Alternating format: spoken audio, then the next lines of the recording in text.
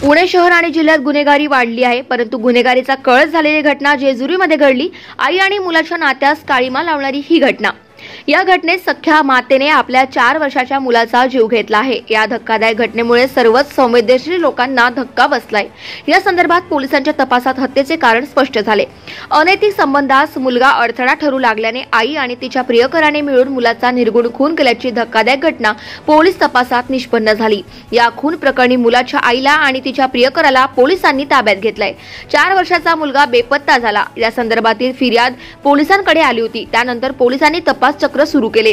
रेणू पवार हिची चौकशी सुरू केली. तिच्या बोलण्यास विसंगती आढळली. तिच्या बोलण्यात विसंगती आढळली. तिला पोलिसांच्या खाक्या दाखवताच तिने सगळा प्रकार सांगितला. प्रेमात अडथळा येत असल्यामुळे तिने खून केल्याचे कबूल केले.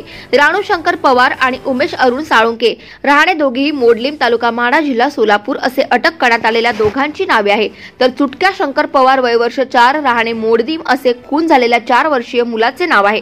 या प्रकरणातील संगीता विठ्ठल चव्हाण वयवर्ष पंचवीस राहणे करकम तालुका पंढरपूर जिल्हा सोलापूर यांनी जेजुरी पोलीस ठाण्यात फिर्याद दिली आहे. जेजुरी पोलिसांनी दिलेल्या माहितीनुसार सुमारे दीड महिन्यांपूर्वी भुलेश्वर घाटामध्ये एका तीन ते चार वर्षीय मुलाचा मृतदेह हा साडीमध्ये गुंडाळलेल्या अवस्थेत आढळून आला होता.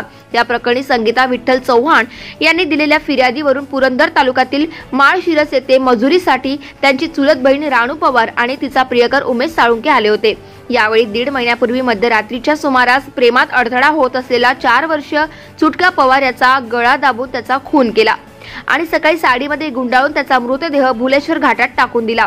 संगीता चव्हाण यांनी दिलेल्या तक्रारीनुसार जेजुरी पोलिसांनी आरोपीस अटक केली असून पुढील तपास जेजुरी पोलीस करीत आहे. Bureau chief Maharashtra fourteen news. Subscribe now and press the bell icon never miss an update